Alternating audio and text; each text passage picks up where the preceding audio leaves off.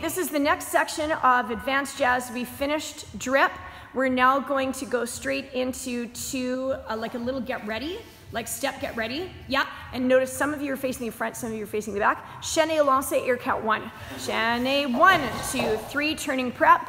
Four, L static five, six, come through seven, walk backwards eight, walk backwards one, forwards two, three, four. I'm gonna get you, if there's time and space, to take a second on five, hold six, sliding squeeze prep, double circle overhead, seven, eight. Six grand pirouette, the last one being grand rond, grab up. One, two, three, da da da, ba ba da da, five, six, take it up, take into a deep lunge, six, seven, eight.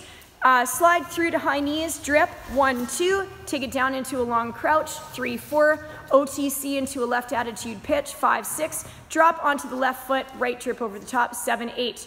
Two backwards walks, one, two.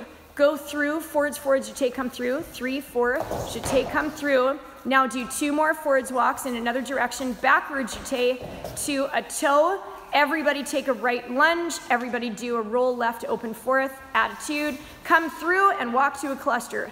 Two, three, four, five, six, seven, eight. First, any random mirror hand pose. One, hold two. Squid pose. Three, hold four. Drip pose. Five, hold six. Nice. Last one. Seven, hold eight is an octopus. So that's our like a jazz hand to waist. Yeah, either pointing sideways or mostly down, and then an eight count extension. One, two, three, four, five, six, seven, eight, and we hold it nine and 10. Good job, you guys.